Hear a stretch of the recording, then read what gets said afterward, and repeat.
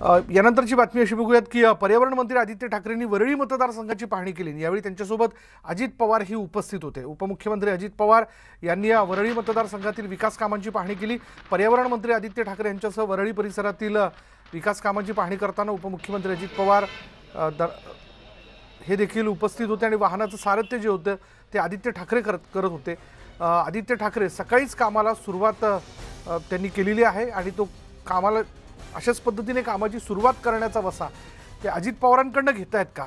हा देखील एक प्रश्न किंवा तशी चर्चा आता राजकीय वर्तुळात सुरू झाली आहे. आज सकाळीच त्यांनी महालक्ष्मी इथला हा धुबी घाट आपण बघतोय त्या धुबी घाटला त्यांनी सेल्फी पॉईंटच्या इथे तिथे जाऊन त्यांनी भेट दिली. यावेळी त्यांच्याबरोबर सेनेचे पदाधिकारी. बरं अशा प्रकारे सकाळी लवकर उठून कामाची सुरुवात करण्याची शैली जी आहे ती उपमुख्यमंत्री अजित पवार यांची आहे. मग आता त्यांच्याकडनं राज्याचे पर्यटन मंत्री आदित्य ठाकरे हे देखील सकाळी लवकर उठून कामाची सुरुवात करण्याच्या संदर्भातला वसा ते घेत आहेत किंवा तसा धडा त्यांच्याकडनं घेत आहेत का? याविषयी आता चर्चा केली जाते आहे. वरळी हा पर्यटन मंत्री आदित्य ठाकरे यांचा मतदारसंघ आहे. याचबद्दल बोलूयात आमच्या प्रतिनिधी स्वाती लोखंडे ढोके आपल्याबरोबर आहेत. स्वाती आदित्य ठाकरे आज सकाळी सकाळी उठून वरळी मतदारसंघाची पाहणी करण्याकरता उपस्थित झाले होते. विशेष म्हणजे अजित पवार देखील त्यांच्याबरोबर होते. नेमकं काय म्हणायचं याला?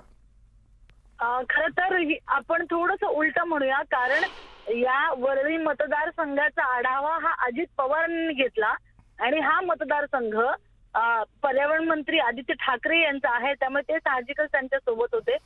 वरळी हा मतदारसंघामध्ये आपण अनेक गोष्टी बोलतो ज्याला ऐतिहासिक महत्त्व आहे. जसा हा धोबी घाट या धोबी घाटाचं पुनर्निर्माण होणार आहे आणि एकूणच या दरम्यान तिथे अनेक बाबींची काळजी घेतली जाणार आहे. जसं पर्यावरणाला हानी पोहोचणार नाही यांचा रोजगार आहे त्याला कुठला त्रास पोहोचू नये.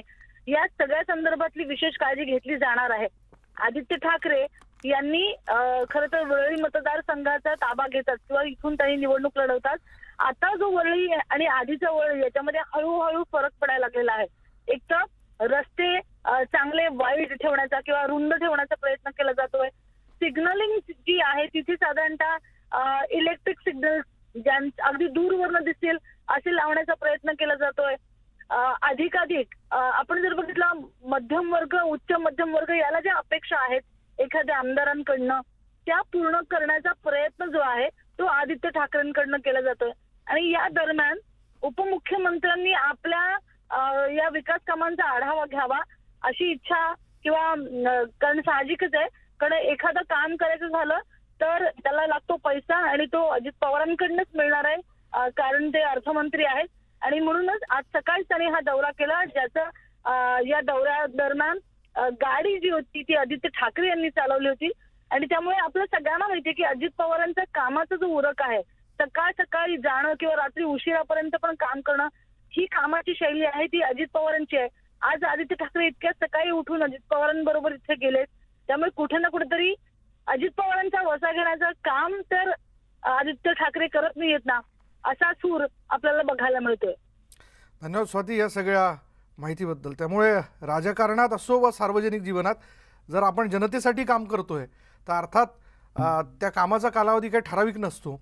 लवकर कामाला सुरुवात करणं आणि उशिरापर्यंत काम करत राहणं हे अजित पवारांच्या बाबतीत आपण बघितलं पण आज आदित्य ठाकरे देखील आजपासून त्याची सुरुवात करतायत का अशी चर्चा आता सुरू झाली आहे